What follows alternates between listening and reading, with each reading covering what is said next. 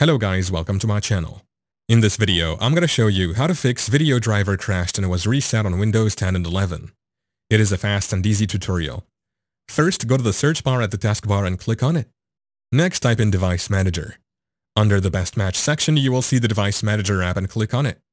Next, double-click on the Display Adapters option. Now right-click on the drivers installed here and select the Update Driver option. Now click Browse My Computer for options.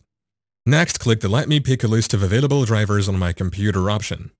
Now click on the driver that is more applicable to your device. Next, click Next. Give it a moment to install. After it has done, close the windows. Hopefully this has helped solve the issue. Go to the search bar at the taskbar and click on it. Next, type in Troubleshooter. Under the Best Match section, you will see the Troubleshooter settings and click on it. Now click on the Other Troubleshooters option. Next, scroll down to the Video Playback section and click Run. Scroll down and select the I want to continue with this troubleshooter. Follow through the steps to complete. Close all the windows and go to the start icon on the taskbar and click on it.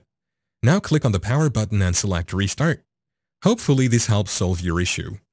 Thank you for watching. If this video was helpful, please leave a like and subscribe to my channel for more videos like this. And click on that notification bell to never miss an update.